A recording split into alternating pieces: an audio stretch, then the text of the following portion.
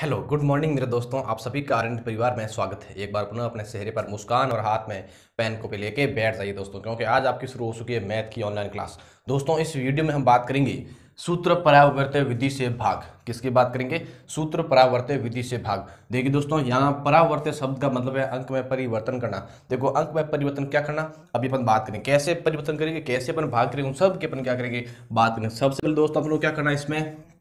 अपन को लेना है आधार। क्या लेना है? आधार। और पता आपको, आधार हम कौन सी संख्या को मानते हैं? जो संख्या जिसके क्या हो, नज़दीक हो, यानी कि 97 किसके नज़दीक है? 100 के नज़दीक। तो इसलिए यहाँ पर मेरा आधार कितना आएगा? 100 मेरा आधार कितना आ गया? 100 फिर दोस्तों, जिसका अपन भाग दे रहे हैं, वो क्या संख्या क्या, उसे अपन क्या कहते हैं? भाजक। क्या कहते हैं? भाजक। तो यहाँ पर देखिए, भाजक अपने पास में क्या है?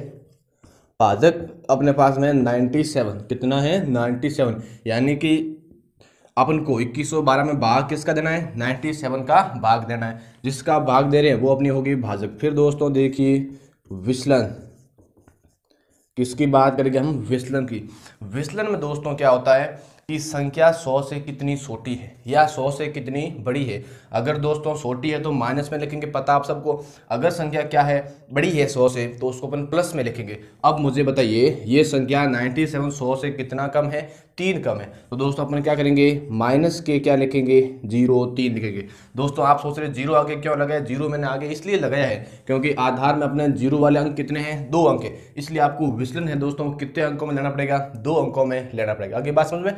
अगर आपके पास केवल एक अंक आता है तो उसके आगे आप क्या लगा दोगे? ज़ीरो। और आगे आपने क्या लगाया? माइनस। माइनस आपका यह दर्शाता है कि जो भाजक है वो आपका आधार से क्या है? कम है। अगर ज़्यादा हो तो क्या लगोगे प्लस लगोगे आगे बात दोस्तों, समझ में? यहाँ माइनस का मतलब आपका ज़ीरो भी माइनस में तीन भी माइनस में।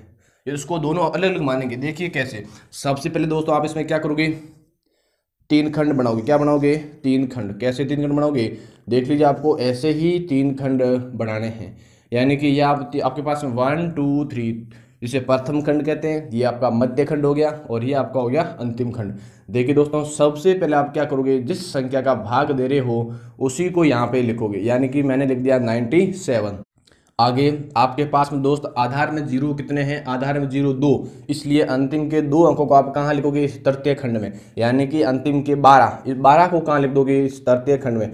क्यों लिखे आपने? केवल दो अंकों को दोस्तों आपने क्यों लिखा यहाँ पे? क्योंकि आपके आधार में दोस्त ज़ीरो कितने हैं? दो ज़ीरो। इसलिए आपने यहाँ से दो अंकों को उठा के कहाँ रख दिया? तृतीय खंड में। दोस्त, मध्य में क्या लिखोगे? जो पीछे बच गया, उसको आप मध्य में लिख दोगे। पीछे आपके पास क्या रह गया? टू और वन, यानी कि ट्वेंटी वन। अब दोस्तों, आपको यहाँ पे लिखना होगा विचलन। क्या लिख, क्या लिखना होगा? विचलन। देखिए दोस्तों, ये आपके हैं विचलन। अब विचलन में आप क्या लिखोगे? कितना आपके पास है? माइनस ज़ीरो तीन। माइनस ज़ीरो तीन। आगे देखिए, अब आपको लिखना होगा परावर्त्य अंक। क्या लिखना होगा दोस्त? परावर्त्य अंक। यानी कि अब आपको यहाँ पे परिवर्तन करना है। अंक में क्या करना परिवर्तन। कैसे करोगे? माना कि अगर आपका ऊपर वाली संख्या माइनस में तो दोस्त यहाँ पर आप क्या लिखोगे? प्लस में। अगर ऊपर वाली संख्या प्लस में है तो आप यहाँ पे किसमें लिखोगे? माइनस में। यानी कि अंक का चिन्ह है, उस चिन्ह को आपको परिवर्तन करना है। यहाँ पे माइनस में है, इसलिए आप यहाँ पे दोस्तों किसमें लिख दोगे? प्लस में। यानी कि ज़ीरो और तीन। आप दोनों अलग अलग संख्या, एक ज़ीरो है और तीन है। इन तीनों को आप क्या करोगे? अलग अलग संख्या से गुणा करोगे। अब क्या कीजिए? एक आड़ी रेखा खींच बड़ी शानदार सीधी रेखा खींच दीजिए। अब दोस्तों आपको क्या करना है? इस दो के नीचे लाइन खींचनी यानी कि दो के नीचे आपको कुछ भी नहीं दिखाई दे रहा है? नहीं। तो आप क्या करोगे? यहाँ पे लिख दोगे दो यानी कि अगर कोई संख्या साथ में होती तो उसका अपन क्या करते? योग करते। दो के अलावा कोई संख्या है नहीं, इसलिए अपने पास दो का दो लिख दिया अब दोस्तों क्या करोगे? इस दो का प्रत्येक संख्या से आपस में गुणा करोगे। इस दो का प्रत्येक संख्या से क्या करोगे? गुणा करोगे। तो देखिए, दो इंटू ज़ीरो दोस्त कितना हुआ? ज़ीरो। दो इंटू ज़ीरो कितना हुआ? ज़ीरो। फिर अपना आगे संख्या तीन। तो दो इंटू तीन कितना हुआ? सिक्स। दो इंटू तीन कितना हुआ? सिक्स हुआ। आगे दोस्तों, इसके नीचे लाइन खींच दो। यस आगे देखिए कितना अपना, ज़ीरो प्लस वन कितना? वन ये तो यहाँ पे मैंने क्या लिख दिया? वन अब दोस्तों, इसका आपको क्या करना, फिर इन्हीं संख्या से गुणा करना होगा। तो one into zero zero one into तीन तो कितना? तीन. अब आपको दोस्तों क्या करना होगा, इसका योग करना होगा। क्या करना होगा? योग. कर दीजिए तीन और दो, पाँच. छः और एक, सात. यानी कि दोस्तों, आपके पास में एक संख्या, ये ट्वेंटी वन, दूसरी है ये सेवेंटी फाइव। इधर देखिए, सेवेंटी फाइव दोस्तों, आपका क्या है? शेष फल आपका क्या है? शेष फल और इधर देखिए, ये आपका जो है, ये आपका क्या है? भागफल। क्या दोस्त? भागफल। ध्यान आपको ये रखना है, अगर आपके ये जो शेषफल है, इस भाजक से बड़ा आता है तो आपको भाग और आगे जाना है। अगर छोटा आ जाता है तो आपको आगे भाग नहीं देना है। यानी कि जब आप 97 का इक्कीस सौ बारह में भाग दोगे तो 21 बार 21 बार तो भाग है, वो पूरा पूरा जाएगा और आपके पास में शेष फल क्या रहेगा? 75 आ गया समझ में? अब अपन अपन सोलहवें क्वेश्चन की बात करते हैं। कौन से क्वेश्चन की बात करते हैं? सोलहवें क्वेश्चन की। तेरह तीन सौ पिचासी। भाग देना है अपन को वन थ्री वन का, यानी कि एक सौ इकतीस का भाग लिखना है तेरह हज़ार तीन सौ पिचासी में, ठीक है? अब दोस्तों, ये तो अपना सेम रहेगा, यानी कि आधार, भाजक और विस्तरण ये तो अपना क्या है? सेम है। तो इसको मैं थोड़ा सा हटा देता हूँ, बाकी हम लिख देते हैं। अब देखिए दोस्तों, इसका आधार भी सेम होगा, क्योंकि एक सौ इकतीस लगभग किसके पास में? सौ के पास में। तो दोस्तों, इसका आधार कितना होगा आपका? सौ होगा। कितना होगा? सौ। तो मैंने आधार कितना मान लिया? आधार मान लिया मैंने सौ। आधार दोस्त कितना मान लिया? सौ मान लिया। आगे देखिए, भाजक, यानी कि आप कौन सी संख्या का भाग दे रहे हो? 131 का। तो आपके पास में भाजक क्या हो गया? 131 दोस्त विचलन ये संख्या 100 से अधिक है या कम? अधिक है तो प्लस में लिखोगे, अगर कम है तो माइनस में लिखोगे। दोस्तों, कितना अधिक है? थ्री वन, यानी इकतीस अधिक है। तो यानी कि मैंने लिख दिया प्लस का इकतीस। क्या लिख दिया दोस्त? प्लस का इकतीस। अब दोस्त, मुझे क्या करना होगा? यही सिस्टम सेम करना है। यानी कि विचलन और क्या करना होगा? परावर्तन। पहले मुझे क्या करने होंगे? बड़े अच्छे से तीन कॉलम बनाने। क्या बनाने हैं? तीन कॉलम ये मैंने दोस्त क्या बना दिए? तीन कॉलम बना दिए। अब आपको पता है, सबसे आगे आपको क्या लिखना है? जिस संख्या का आप भाग दे रहे हो, वो संख्या लिखनी है। यानी कि एक सौ इकतीस आपने सबसे पहले लिख दिया। यस दोस्तों, आधार में आपके पास ज़ीरो कितने? दो ज़ीरो। इसलिए पीछे के कितने अंक है वो बाहर लिखोगे, यानी कि खंड में लिखोगे दो अंक, क्योंकि आपके पास में आधार में ज़ीरो कितने? दो ज़ीरो। इसलिए अंतिम के आप कितने अंक लिखते हो? दो अंक बाहर लिखने। अगर दोस्त, आधार में आपके पास में एक ज़ीरो होता तो आप अंतिम के एक, केवल एक अंक ही बाहर लिखते। बाकी वाले सारे कहाँ लिखते? इसे मध्य खंड में लिखते। तो पीछे अपने पास में क्या रह गया? One, three three. इसको आप कहाँ लिखोगे? मध्य खंड में। अब दोस्तों, यहाँ आपको क्या लिखना है? विचलन। क्या लिखना है? विचलन। अब विचलन देखिए विचलन किसमें आएगा? प्लस में, क्योंकि ये संख्या है सौ से क्या है? ज़्यादा।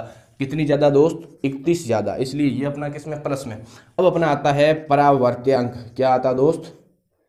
परावर्त्य अंक यानी कि अब अपन को क्या करना होगा? परिवर्तन करना होगा। अगर ऊपर की संख्या प्लस में है तो आप परावर्तन किसमें लिखोगे माइनस में। यानी कि अब आपको तीन भी आपका किसमें दोस्त? माइनस में। और तीन के पीछे वाला एक भी दोस्त किसमें माइनस में। आगे बात समझ में?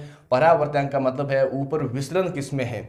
अगर विचलन आपका धनात्मक है तो आप परावर्तन में क्या कर दोगे ऋणात्मक। अगर आपका विचलन ऋणात्मक है तो आप क्या कर दोगे धनात्मक। यहाँ देखिए, ऋणात्मक था, आपने क्या कर दिया? धनात्मक। यहाँ धनात्मक है, आपने क्या कर दिया? ऋणात्मक। यानी कि केवल केवल चिन्हों का आपने परिवर्तन किया। अब दोस्त क्या करोगे? बड़ी अच्छी सी सीधी रेखा खींच दोगे। फिर आपको क्या करना है इसमें? योग करना है। योग करके इसको गुणा करना है। यानी कि अब एक के नीचे कुछ संख्या है नहीं, इसलिए एक का एक। अब एक का इन दोनों संख्या से बारी बारी से क्या करना होगा? गुणा करना होगा। तो देखिए, एक इंटू माइनस तीन। कितना दोस्त? माइनस का तीन।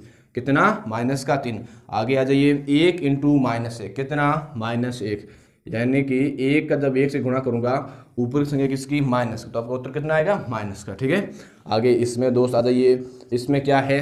तीन दोस्त प्लस का, तीन किसका? माइनस का। यानी कि तीन में से तीन की तो पीछे कितना रहा? ज़ीरो। पीछे कितना रहा? ज़ीरो। अब इस संख्या को गुणा कर दे ज़ीरो से।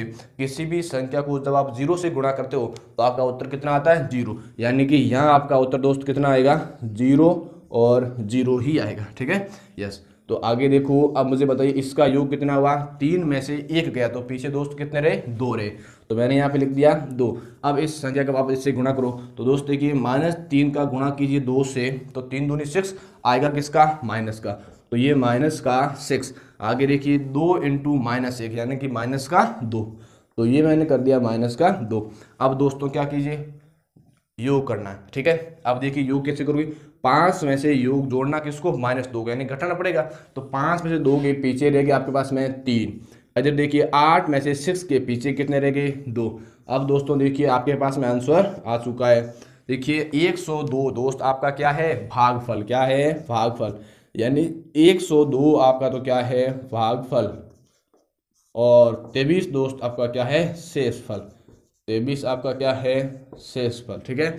बस आपको यानी कि जब तेरह हज़ार तीन सौ पिचासी में आप एक सौ इकतीस का भाग दोगे तो आपके पास भागफल कितना प्राप्त होगा? 102 और आपको शेष फल कितना प्राप्त होगा? 23 आगे दोस्तों बात में, मैं देखता हूँ, एक आध कोई क्वेश्चन और मुझे मिलता है तो उसको भी करवाने का प्रयास करता हूँ, ताकि आपको ये जो परावर्तित विधि है, बहुत ही आसान तरीके से पूरी की पूरी समझ में आ सके। दोस्त, मैं कोई एक अन्य एग्ज़ाम्पल लेता हूँ। एग्ज़ाम्पल हमारे पास में ये है ग्यारह सौ चौवन भाग देना अपन को एक सौ तीन का, ठीक है? यहाँ इसका अपन लिख देंगे, इसका क्या आधार है, क्या इसका भाजक है और क्या इसका विचलन है? ध्यान दीजिए दोस्तों, इसको आप भूल जाइए। भूलना नहीं है, केवल इस क्वेश्चन को समझने तक। देखिए, आधार कितना मानोगे दोस्त? आधार मानोगे एक सौ। आधार कितना मानोगे? सौ, क्योंकि ये संख्या किसके नज़दीक है? सौ के नज़दीक है। दोस्त, भाजक, यानी कि आप किसका भाग दे रहे हो? वन ज़ीरो थ्री का। तो ये हो गया वन ज़ीरो थ्री का। दोस्तों विचलन क्या मानोगे? अब आपको दिमाग में क्वेश्चन पूछ रहा हूँ आपके तो आपको दिमाग में उन क्वेश्चनों का अपने आंसर देना है। कि अपने को ही उनका उत्तर देना है। देखिए विचलन कितना होगा? ज़्यादा है प्लस में। कितना ज़्यादा है? ज़ीरो तीन। आपने दो अंकों में क्यों लिया? क्योंकि आपके पास आधार में ज़ीरो कितने हैं? दो ज़ीरो। इसलिए आपको आगे क्या लगा देना है? ज़ीरो। अगर आपका वैसे दो अंक आता है तो आपको आगे ज़ीरो लगाने की आवश्यकता है नहीं। अब दोस्त, क्या करोगे? बड़े दो से कॉलम बनाओगे। प्रथम खंड, मध्य खंड और आपका तृतीय खंड। सबसे पहले क्या लिखोगे? जिस संख्या का आप दे रहे हो भाग, यानी कि वन, ज़ीरो, थ्री का दे रहे हो भाग। फिर दोस्तों क्या लिखोगे? विचलन। क्या लिखोगे? विचलन। विचलन आपका किसमें है? प्लस में कितना है? प्लस का ज़ीरो और तीन। यानी कि दोस्त, ये तो आपका क्या हो गया? विचलन। अब आप क्या लिखोगे? परावर्त्य अंक। दोस्त, क्या लिखोगे? परावर्त्य अंक। अब इसमें क्या होगा आपकी? या आप इसे कह सकते हो संशोधित भाज्य। ठीक है? करना क्या है? चिन्ह का परिवर्तन, ऊपर प्लस का तो माइनस का ज़ीरो और तीन कर दोगे। ठीक है? अब दोस्तों, यहाँ पे क्या लिखोगे मुझे बताओ? पीछे की दो संख्या। क्यों? क्योंकि आपके पास आधार में ज़ीरो कितने हैं? दो। इसलिए यहाँ आप कितनी संख्या लिखोगे? दो संख्या यानी कि पीछे की दो संख्या सबसे बाहर लिख दीजिए। बाकी वाली आप दोस्त कहाँ लिख दीजिए? अंदर लिख दीजिए। कहाँ लिख दीजिए? अंदर। अब बड़ी अच्छी सी एक रेखा खींच दीजिए। क्या करना है? योग करके परावर्ती अंक से आपको क्या करना है? इसका गुणा करना है। एक या किसी का है नहीं तो इसका मतलब एक का एक। एक गुणा ज़ीरो कीजिए। दोस्तों, कितना? ज़ीरो। एक गुणा, अब देखिए यहाँ दोनों संख्या माइनस की। या तीन भी किसका? माइनस का। और दोस्तों, ज़ीरो भी किसका? माइनस का। आप माइनस इन संख्या के आगे भी लगा सकते हो, इन संख्या के ऊपर भी लगा सकते हो, ठीक है? यस अब एक इंटू माइनस तीन की दोस्तों कितना आएगा? माइनस का तीन आएगा। अब इसको जोड़ दीजिए, फिर भी आपका योग कितना आ रहा है? एक आ रहा है। एक गुणा ज़ीरो कीजिए, ज़ीरो। एक गुणा माइनस का तीन कीजिए, कितना? माइनस का तीन। यानी कि आपका भागफल कितना आ गया? ग्यारह। दोस्त, भागफल कितना आ गया? ग्यारह। और इधर देखिए माइनस करो, देखिए, चार में से तीन के पीछे रहा आपके पास में एक। पाँच में से तीन के पीछे रहा दो। यानी कि दोस्त, ये तो आपका क्या है? शेष फल क्या है? शेष फल और ये आपका क्या है? भागफल। ये दोस्त, आपका क्या है? भागफल। अब दोस्तों, मैं समझता हूँ कि आपको अच्छी तरीके से ये समझ में आ गया होगा। अगर दोस्तों आपको समझ में आ गया ये तो मुझे इस क्वेश्चन का आंसर है, वो कमेंट बॉक्स में लिखना। क्वेश्चन अपने पास ये है कि चौदह सौ बयासी भाग देना है आपको डबल एट का, यानी इक्यासी का। कौन सी विधि से दोगे? विधि आपके पास में है, सूत्र परावर्त्य विधि। इस विधि से भाग देने पर मुझे आपको बताना है भागफल और शेष फल अगर आपको ये वीडियो, यानी कि ये विधि समझ में आ जाती है तो आप इसका कहाँ लिखोगे? कमेंट बॉक्स में। अब दोस्तों, आशा करता हूँ कि आपको विधि समझ में आ गई। इसका आपको कमेंट बॉक्स में आंसर देना है। आगे अपन मिलते हैं एक शानदार नेक्स्ट वीडियो के साथ में। तब तक के लिए आपका धन्यवाद।